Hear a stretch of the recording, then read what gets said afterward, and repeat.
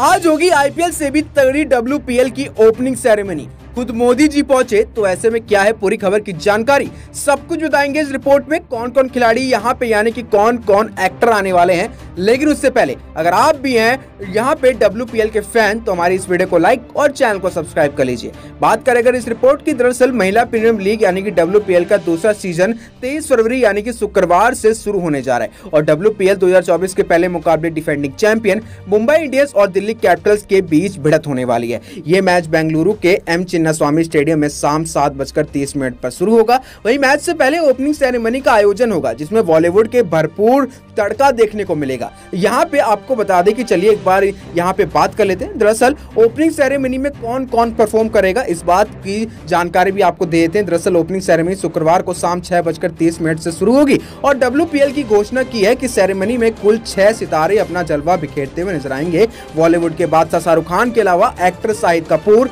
Varun Dhawan tiger Shroff, Siddharth Malhotra और Kartik Aryan perform करेंगे। बता दें कि डब्ल्यू पी 2023 की ओपनिंग सेरेमनी में सिर्फ़ तीन कलाकारों ने परफॉर्म किया था। पिछले साल एक्ट्रेस कीर्ति सैनन और कियारा अडवाणी और सिंगर एपी डिलो भी यहाँ पे आपको बता दें कि आए थे।